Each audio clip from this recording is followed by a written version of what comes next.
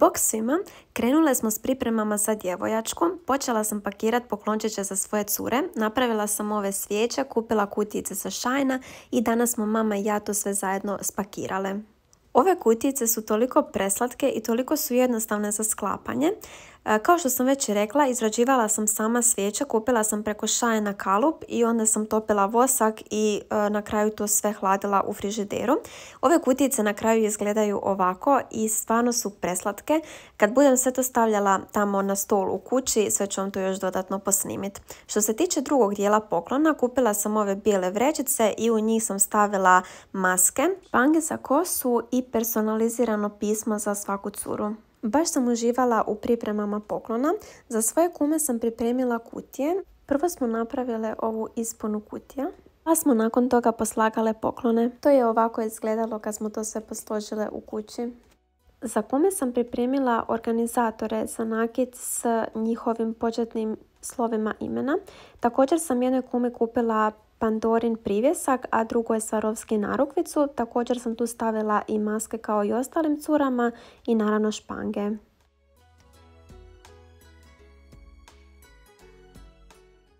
Ovako izgledaju završno vrećice koje sam pripremila za cure i također sam stavila pismo i kumama u kutije.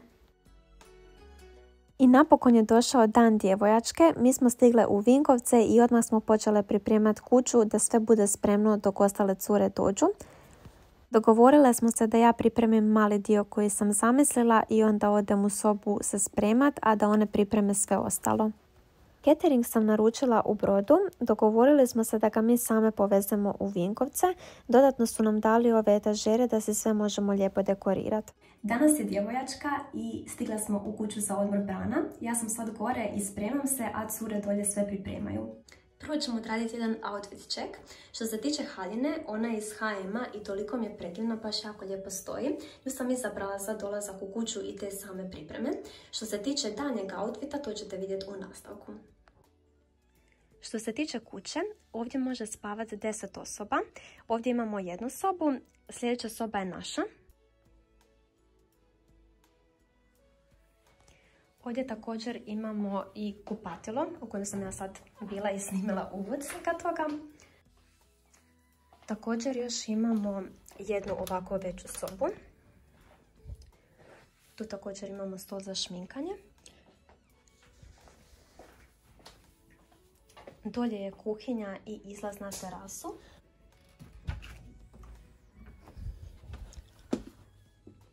I tu imamo još jednu malu sobu.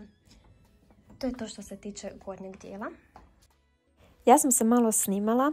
Uglavnom, bila sam toliko uzbuđena, čula sam da su već sve cure počele dolaziti i to mi je bilo toliko uzbuđenje i jedva sam čekala da siđem dole. Kad sam se obukla, shvatila sam da sam zaboravila štikle i to sam isto napravila i na dan vjenčanja. Spremila sam cijeli kofer za ponjetu salu i nisam ga ponijela.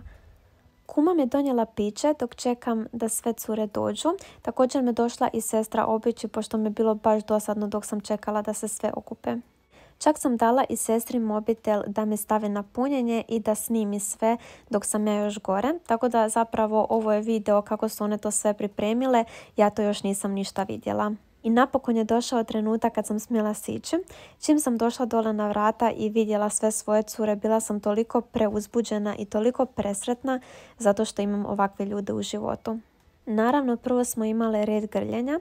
Kad sam njih sve izgrlila, onda je uslijedilo prvo iznenađenje za mene.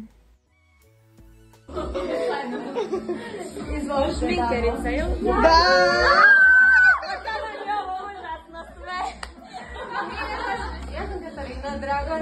Uglavnom, mom uzbuđenju nije bilo kraja. Ja sam mjesecima i mjesecima pričala s kumom o djevojačkoj iznijela sam joj sve svoje ideje, sve svoje zamisli i tajne želje.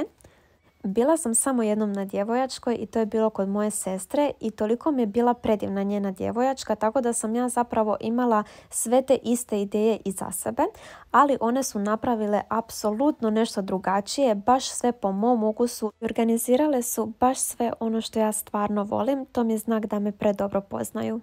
Ovo je zapravo bila edukacija o šminkanju za nas cure na djevojačkoj. Ja sam bila model, a ova predivna cura Katarina nas je učila kako se pravilno šminkat, koje proizvode najviše koristi, podijelila je s nama neke svoje favorite i čak smo imale kviz i dobile neke proizvode. Uz to sve podijelila je s nama i svoju priču o uspjehu i stvarno nas je motivirala da radimo ono što zaista volimo. Prvo je skinula moju šminku, nakon toga mi je stavila ove maske protiv potočnjaka od Ladrije. To sam prvi put isprobala tada i baš sam se jako oduševila. Dok sam ja uživala s čašom leleta, ona mi je šminkala oči i stvarno mi se baš svidio make-up kakav je zamislila. Možete ovdje vidjeti da sam ja također i uživala, pjevala, zabavljala se i gledala kako se i moje cure zabavljaju. I dok ja tako uživam, dolazi još jedno iznenađenje. Cure su rezervirale fotografa koji nas je slikao cijelu večer i to su mi najdraže uspomene koje ću imati za cijeli život. Što se tiče make-up luka, ja sam bila preoduševljena, toliko mi se svidio ovaj make-up look, baš je nekako bilo prirodno i namijenjeno za mladu. Nakon mene na red za šminkanje je došla kuma, a nakon nje su cure mogle doći do Katarine i postaviti joj neko pitanje o šminkanju. Na primjer, znam da su pitale kako se pravilno stavlja tuš, isto tako su komentirale neke TikTok trendove i pitale njeno mišljenje o tome. Ja sam bila prezadovoljna šminkom, a nakon toga sam se išla van slikati. Fotograf je isto tako bio super, cijelo vrijeme nam je govorio upute gdje da gledamo, kako da stanemo i to nam je baš olakšalo. Ja sam bila skroz opuštena i baš sam shvatila da se jako volim slikat i uopće mi to nije bio nikakav problem, baš sam uživala u svemu tome. Pošto je bio deseti mjesec, tih dana je bilo baš toplo vrijeme. Mi smo očekivali da ćemo se možda moći kupati u bazenu, ali nažalost malo je vjetar puhao i nije bilo baš za bazen, ali smo imali džakuzi tako da smo to ostavile za poslije. Kuća je toliko predivna, mi smo bile prezadovoljne i baš smo imale apsolutno sve što nam je bilo potrebno za naš boravak. Ovako je izgledala atmosfera dok sam se ja slikala. Ove lampice su predivne i baš podižu svaku sliku. Ovdje smo se kuma i ja dogovarale s fotografom kako ćemo se slikat, a ostale cure uživaju.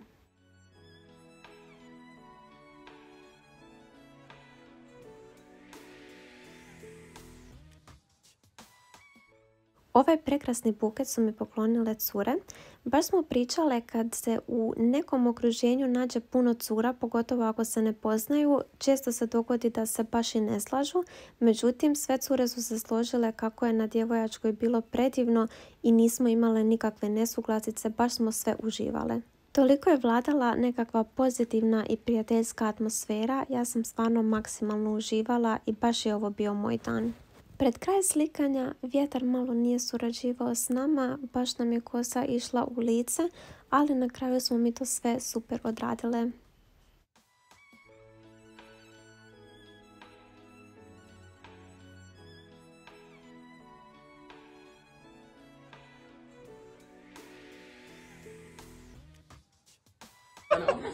Drage moje cure, ja bih vam se danas htjela zahvaliti što ste danas ovdje sa mnom. Hvala vam što ste došle čak ovdje da bi proslavile zajedno sa mnom ovaj moj poseban dan. Prosto želim zahvaliti svojoj kumi koja se ovo organizirala, ali također vama svima zato što ste pomogle u realizaciji svake ideje. Također se isto tako opet želim zahvaliti kumi što si mi uopće pristala biti kuma i što me uvijek motiviraš i guraš naprijed. Gotovo. Joj. Onda bi se htjela zahvaliti svojim sestrama Ivani i Marini. Hvala vam što ste danas tu. Hvala vam što ste uvijek bile moj temelj i sve što sam dobro u životu napravila to je zbog vas. Vi ste mi pokazali kako izgleda primjer dobrog života i hvala vam na tome. Koji primjer? Uvijek bile uz mene i koje su me uvijek isto tako gurale naprijed. Hvala vam na svakom našem provodu, na svakom našem pijanstvu i na svakoj uspomeni koju smo imali zajedno, ali hvala vam i na onom što ćemo tek imat. Također se želim zahvaliti Jeleni i Marini, hvala vam što ste danas ovdje i hvala vam što ste me primile u obitelj. I nadam se da ćemo se večera svoj zabaviti, kako da živjele. Živjela. Čin, čin. I sad je napokon došao trenutak kad su cure otvorile svoje poklone koje sam im pripremila. Također su i pročitale svoja personalizirana pisma. Bilo je tu puno suza i baš je bilo emotivno. Nakon toga je red došao na mene da ja otvorim poklone koje su mi pripremile. Prvo sam dobila Pandorinu narukvicu koju sam toliko dugo htjela. Uvijek sam pričala s curama kako puno cura ima tu narukvicu i neke od njih isto tako imaju. One su mi kupile Rose Gold koja mi je toliko predivna i naravno privjesak koji ima kao aviončić. Tako da mi je to bilo baš super pošto smo odmah nakon vjenčanja išle na Maldive i to mi je nekako trajna uspomena na njih pogotovo zato što one znaju da ja obožavam putovanja. Također su mi napravile i ovaj predivni album i stavile brdo slika sa svakom od njih i to mi je stvarno predivna uspomena. Također su u tome sudjelovale i cure koje danas nisu mogle biti tu sa mnom, tako da mi je to bilo još više emotivno. Neke slike nisam baš dosta dugo vidjela, a za neke nisam znala ni da postoje. Na kraju albuma se nalazilo pismo koje mi je bilo toliko predivno i emotivno. Hoćeš naglas? Da, ona će naglas. Može. Joj piše hvala ti. Draga naša prijateljica, sestro i kumo, svaka od nas sretna i zahvalna što si upravo nas odabrala za proslavu svoje djevojačke večeri. Neki od nas poznaju te od prvog dana tvog rođenja, dok si ostale upoznala kroz život i školovanje, ali jedno je sigurno, sve mi jednako snažno Znamo koliko si dobra, iskrena, kvalitetna i draga osoba, neovisno o dužini poznanstva. Hvala ti za svaku tvoju riječ, utjehe, za svaki trenutak slušanja naših tužnih priča o neuspjehu, razočarenju ili slomljenom srcu. Ali isto tako, hvala ti na svakoj podršci i vjerovanju u naš uspjeh. Preponosni smo na svaki tvoj važan korak u životu, a upravo jedan od najvažnijih događa se sada. Želimo ti puno uspjeha u braku, sreće, blagoslova, mira, obostranog razumijevanja, podrške i puno, puno strpljenja. Hvala ti što si uvijek bila tu, što si tu i što ćeš biti tu. Volimo te puno. Uz najčvršći zagrljaj tvoje cure. Ja! ok, sad ide red zagrljaja. I naravno, tu iznenađenjima nije bio kraj. Pripremile su mi i ovu prekrasnu tortu. Koliko je prekrasna, toliko je i preukusna. Ja sam prije torte otišla promijeniti haljinu. Odlučila sam se za ovu običnu bijelu i nju sam tako slučajno našla i morala sam ju kupiti. Što se tiče rezanja torte, imala sam blagih problema zato što sam rezala prevelike komade, ali mi je kuma priskočila u pomoć tako da smo do kraja usavršile rezanje.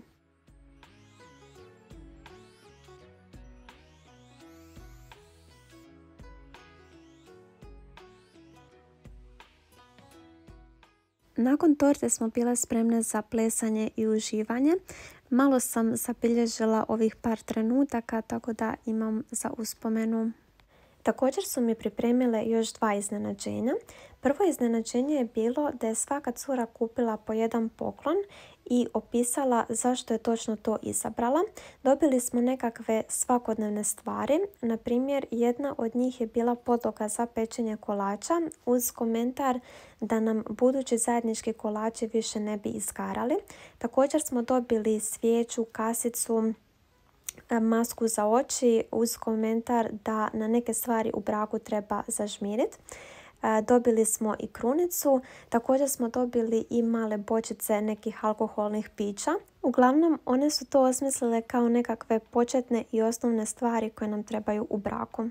Drugo iznenađenje je bio kviz. Kuma je prije djevojačke postavila ista pitanja sada već mom mužu i na djevojačkoj sam ista ta pitanja dobila ja i onda smo uspoređivali odgovore.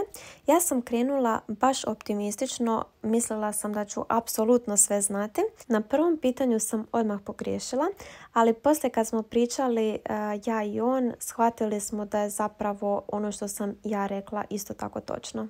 Nakon dugog plesanja smo otišle u džakuzi.